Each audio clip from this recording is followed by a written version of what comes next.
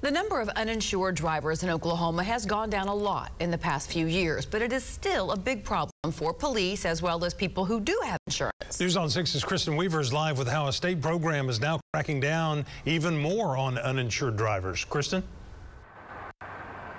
Well, Craig and Lori, the UVED program uses cameras to identify those drivers who don't have insurance and mails a ticket to them.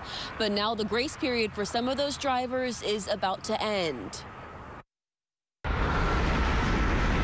Oklahoma used to be the number one state in the country for uninsured drivers, but things are improving.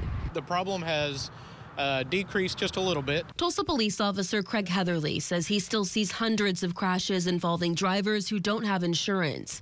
That's a headache for the people who do pay for insurance and increases rates for everyone. TPD issued about 5,600 citations last year for uh, no, no insurance. That's why the UVED, or Uninsured Vehicle Enforcement Division, began back in 2018 when Oklahoma's uninsured driver numbers were the highest. Amanda Arnall Couch runs that program and says the state has installed cameras to track uninsured drivers to send them a ticket in the mail and help them get insured by enrolling them in a program. With the payment of the fee, then we divert this case. We don't send it to criminal prosecution we enroll you in our program and just keep an eye on you for two years.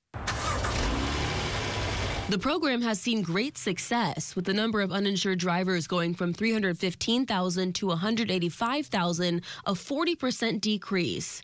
But many drivers are still uninsured. So Amanda says UVED will be reviewing names of people who enrolled in the program, got insurance, and were caught again on cameras without insurance. And this time around, they could be prosecuted. Officer Heatherly says the fewer uninsured drivers, the better. It's frustrating for other motorists that are doing the right thing.